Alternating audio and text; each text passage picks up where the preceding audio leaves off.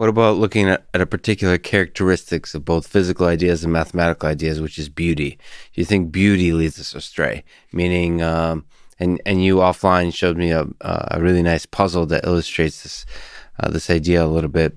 Now, maybe you can speak to that or another example where uh, beauty makes it tempting for us to assume that the the law and the theory we found is actually one that perfectly describes reality.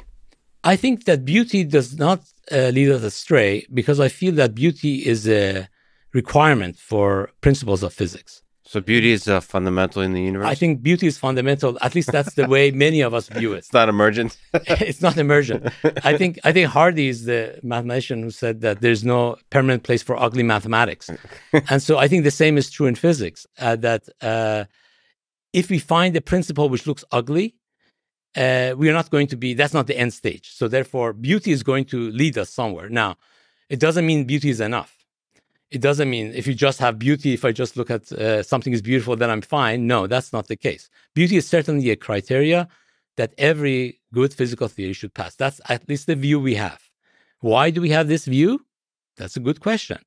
It is partly, uh, you could say, based on exper- experience of science over centuries. Partly is a philosophical view of what what what reality is or should be, and uh, in principle, you know, it could have been ugly and we might have had to deal with it, but we have gotten maybe uh, confident through examples after examples in the history of science to look for beauty. And our sense of beauty seems to incorporate a lot of things that are essential for us to solve some difficult problems, like symmetry. We find symmetry beautiful and the breaking of symmetry beautiful. Somehow, symmetry is a is a fundamental part of how we conceive of beauty at all layers of reality, which is interesting.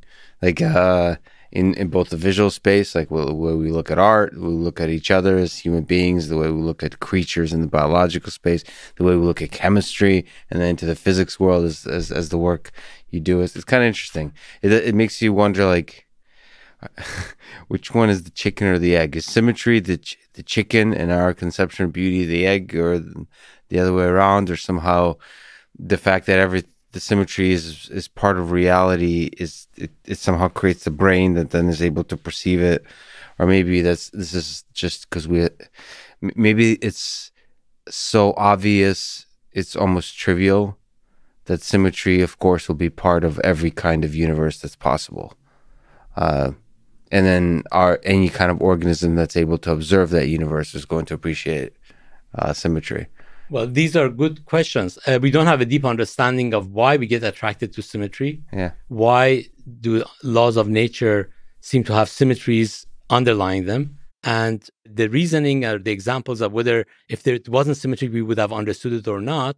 We could have said that, yeah, if there were, you know, things which didn't look that great, we could understand them. For example, we know that symmetries get broken and we have appreciated nature in the broken symmetry phase as well.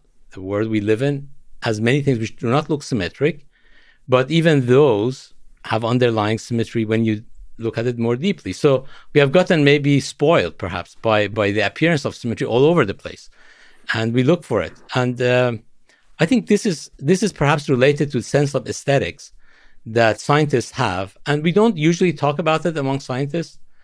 Uh, in fact, it's kind of a philosophical view of why do we look for simplicity or beauty or so forth and uh, I think, in a sense, scientists are many, a lot like philosophers.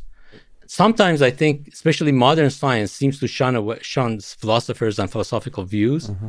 and I think at their peril. I think, I think, in my view, science uh, owes a lot to philosophy, and in my view, many scientists, in fact, probably all good scientists, are perhaps amateur philosophers. Mm-hmm. They may not state that they are philosophers or they, they may not like to be labeled philosophers, but in many ways, what they do is like what uh, philosophical takes of things.